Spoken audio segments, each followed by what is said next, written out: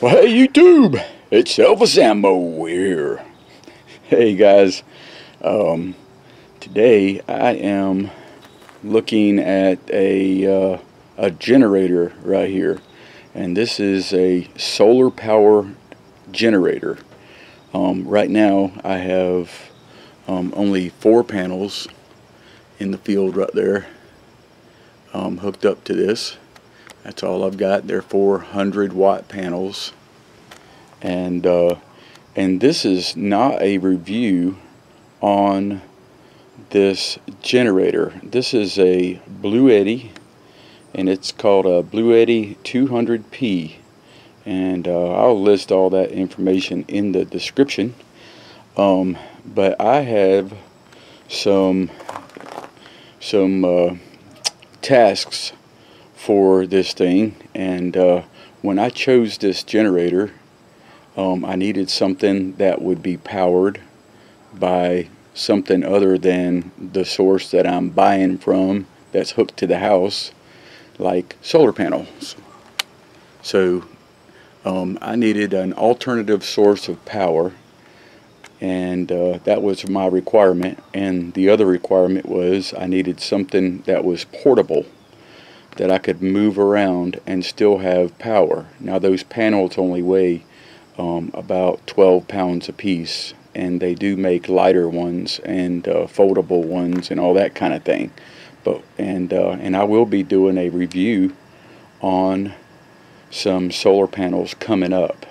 All right. So for right now, all I have is those four hooked up to this generator.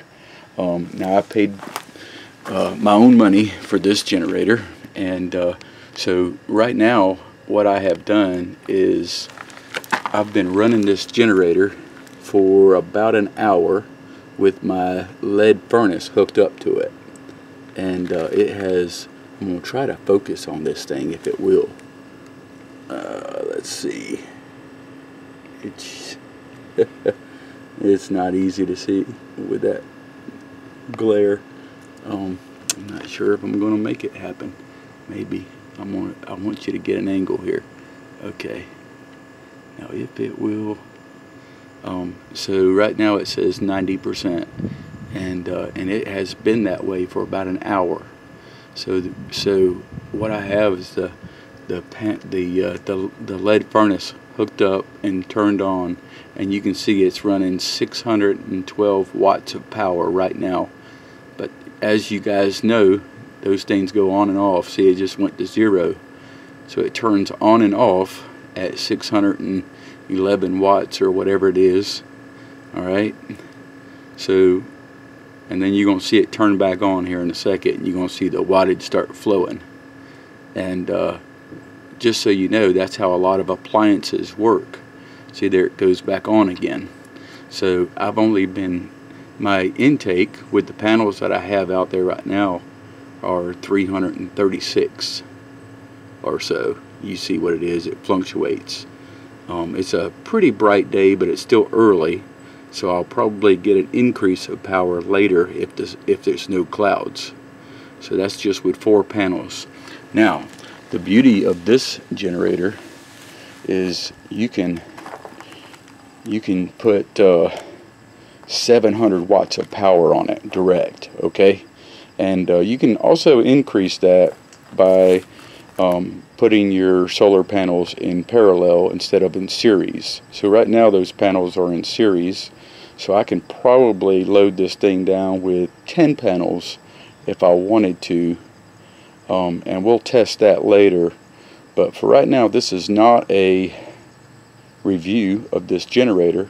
Only that this generator I chose because it is a 2000 watt generator and it can handle surges up to like 4000 watts momentarily and it can also handle surges that go over 2000 watts for up to two minutes before it'll shut down.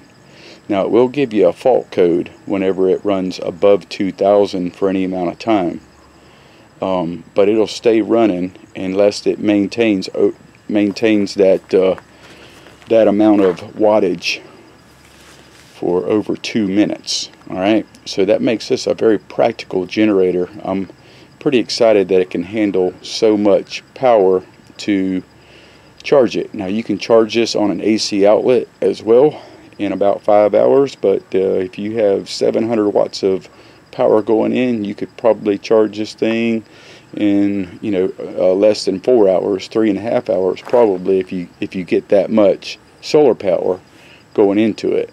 Now there's some other ways of charging it too that don't um, uh, it just not don't necessarily uh, do anything for me. You know, I two wall outlets or whatever.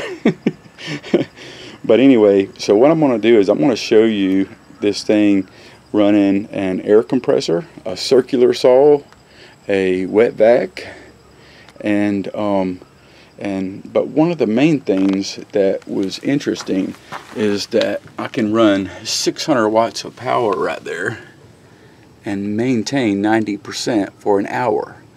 So that means with just that 330 watts coming in and the intermittent on and off of my lead uh, pot that's on right now. And uh, and I just have it on this extension cord okay? So I'm also gonna I'm gonna turn these appliances on and show you um, how much they can handle um, under a load maybe. Um, and can we run all of them together? I doubt it but um, but we'll just see.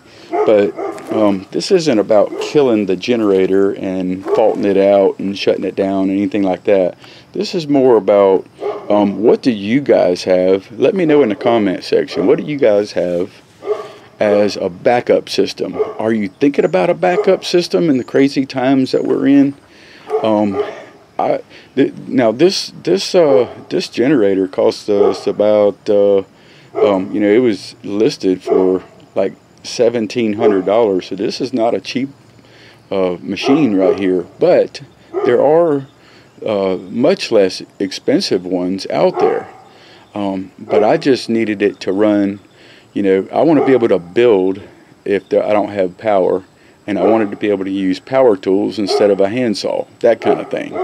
And um, and for instance if you if you uh, need to run a generator and you don't need you know um, everyone hearing you running a generator well this thing don't make any noise as a matter of fact let me let you listen to it okay at the moment it, it's not on but it obviously has a uh, fan in the inverter section there that will come on but, but you can barely hear it. I mean barely. So it's extremely quiet. So, and uh, for instance, if you need to cook something and you don't need a smoke signature, those kind of things are things that we should think about. And uh, and I have gas generators, and uh, and I think this will be a uh, um, a good addition to those because we can use our gas generator to uh, to charge this thing up and run this thing quietly, um, uh, that kind of thing. So for instance, instead of running your generator for refrigeration all night, you could just plug it up to this thing on a timer and uh, and you're not running gas constantly. So it's a great addition. So there you go. Let's uh, let's just see what this thing will do. We're going to just put it under a little load and uh, I'm just going to set this camera down and I'm obviously going to have to tell you you know what the surge is and all that um, but this is uh, this is some cool stuff. I'm very excited to have this. So let's just uh, let's just turn some stuff on. Alright so so we're still at 90% and I've been at 90% for about literally an hour. So it's running that lead pot at 600 watts, six, over 600 watts, only have 337 coming in, and it's been able to maintain. Now, so if you have sun out, you can run, you know, some serious appliances and not lose any percentage of your your power. So this is a pretty impressive, this is probably one of the most impressive solar generators that are portable that I've seen and uh, and and I'm sure that there's some that are maybe close. Okay, um, if not, maybe a little bit better. I don't know. But here we go. Let's crank some stuff up. So I got 600 watts running. This is a 2,000 watt generator. and uh, I'm just going to turn this uh, wet vac on.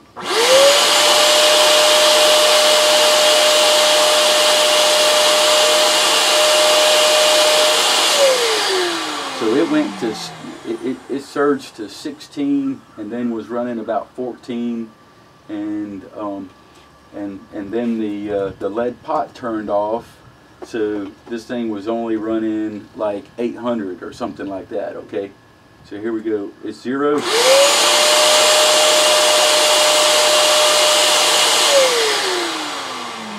All right so uh, so it surged to a thousand when the pot turned off and then went to about 800 to run this wet vac.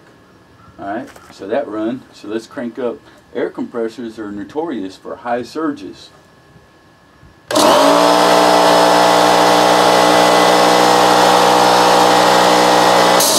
So it went to 18 and ran at 11. Um, and I think the pot was off, so now the pot's back on again.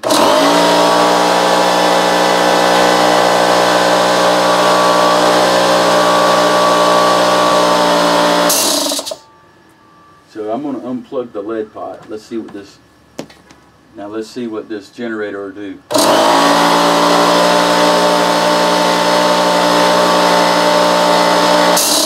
Okay, so it's running at 1100 watts, so that's easy enough, right? So let's say I'm going to run the generator in the wet vac.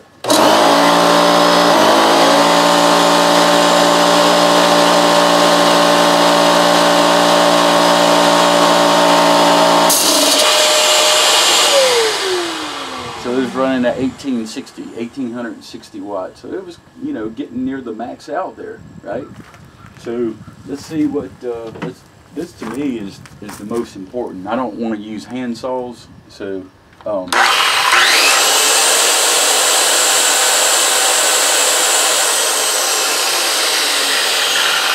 so it, so it surged at about 950 and ran at about 730. So let's see what it does under a load. Now I got a board here that I need to cut a couple of pieces off anyway.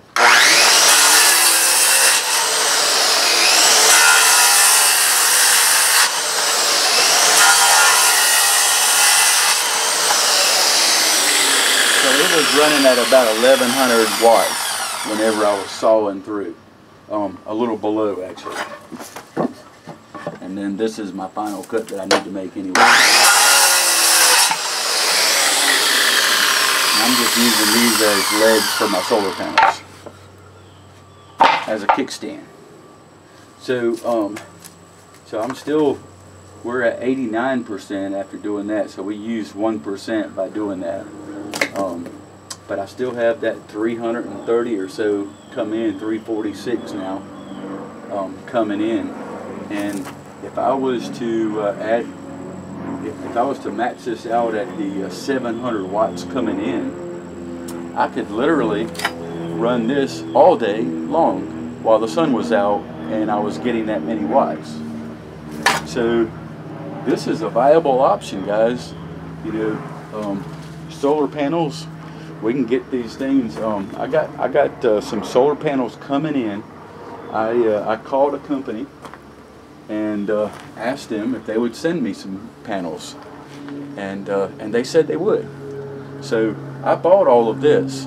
So I'm gonna I'll have enough panels I can max this out, and we can do some more tests on this stuff.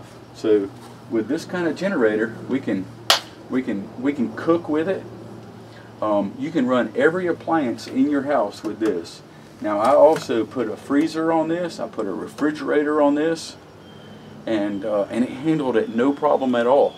Okay, so uh, you know, so as, long as we got uh, you know 700 watts coming in to be able to charge this in three or four hours, that's a viable option.